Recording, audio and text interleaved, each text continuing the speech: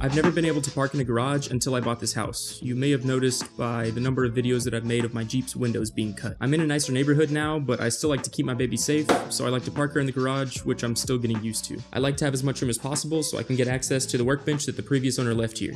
Oh, and to those that say I need to work on a workbench like Random Dad and Real Dad, That's about all I got to work with. But don't worry, I'm planning on making a better one in the future. To nail the parking every time, I'm gonna make a stoplight thing. Yeah, it's a stoplight. Or it's like at the car wash, the thing that tells you to. The device is powered by an Arduino Nano and uses a rotary encoder, ultrasonic sensor, OLED display, and some LEDs. The way the device works is very simple. It senses the distance of an object in front of it, and based on how far it is, it will turn on one of the three lights. It's pretty easy to understand. The furthest away is a green light, closer is yellow, and closest where you're supposed to stop is red. I made the red light distance a variable in the code, which you can adjust with the rotary encoder on the side and the yellow and green lights are based on the distance of the red light. So for example, I adjust the red light to 24 inches. In the code, I have it set to the yellow light is 24 inches past the red light. And lastly, the green light is another 48 inches past the yellow light. Anything less than the variable threshold will result in a red light, and anything 6 feet past the variable threshold will result in no light. I have it set that way so I can see the device turn on, and I know that I'm not getting a false green light that's going to make me back up too far. Of course, all the ranges can be adjusted in the code, this is just what I went with. I also added an auto set function. When you click the rotary encoder, it defines the red light distance to what the ultrasonic sensor is currently reading, just so you're not scrolling all day. The build could end right there, but I wanted to visualize what's going on, so I added an OLED display which shows the current distance that the sensor's picking up, as well as what the threshold is set to. And just because I thought it was cool, I added a little startup screen to the OLED.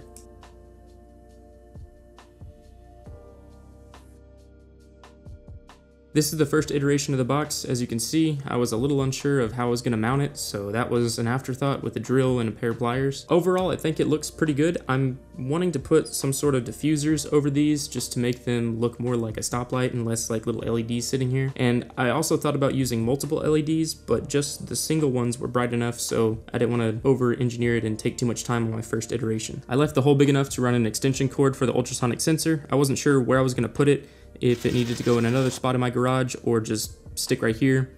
Sticking it right here was just fine. On this side, you have the rotary encoder, which can turn and click, and you have the OLED display. But on the other side, you have literally nothing. Now brace yourselves, I'm going to show you the inner workings.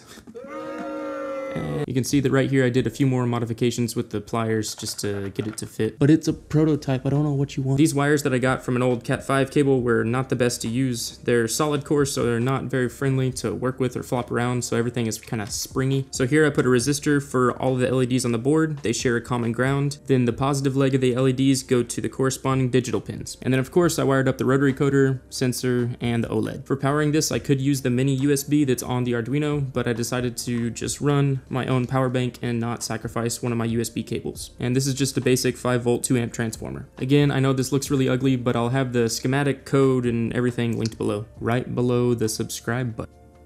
It's kind of bugging out from being on the table, but you get it. Okay, I've got the device powered on. Now I'm just going to show you a test of me walking back and forth. First step is going to be setting the range. I can either do that by spinning the dial or clicking the dial while it's looking at the wall. So I'll click and 29 inches. Anything inside of 29 inches is red, and I'm gonna start backing up. Outside of that is yellow range. Keep on going, trying to hold my arms steady. Green, further back, and it turns off. And again, going towards you. So when it picks it up, green range, keep going, yellow, even closer, and then red. Well, I'd say that works pretty decent now just to uh, put it in my garage.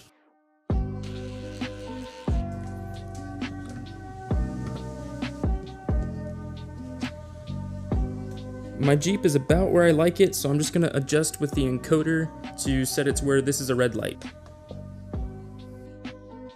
81 inches, give or take an inch or two. And now every time that I back up, I should see a red light and that tells me when to stop, putting that thing to good use. Nothing left to do but get in and test it out. Sorry to interrupt, I just have a quick announcement. Yeah, sorry to interrupt. I'm going to be giving one of these away. I made a second one in limited edition orange filament because I ran out of yellow filament. I also cleaned up the electronics quite a bit using better wire. So if you want this second one that I made, leave a comment saying that you think it would be helpful and also subscribe. This year, I'm trying to get to 2,000 subscribers before my birthday. I'll pin your comments and reply, and then we can figure out the details later. I'll be sure to sanitize everything. All right, thank you, and back to the test. Orange. Here in my garage. I'm here in my Jeep, and hopefully you can see that that's where the little stoplight is.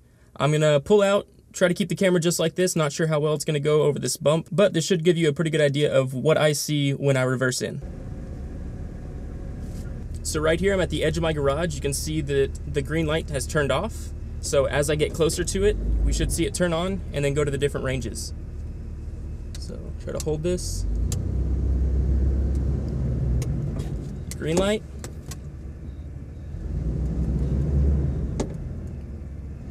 Going into the yellow.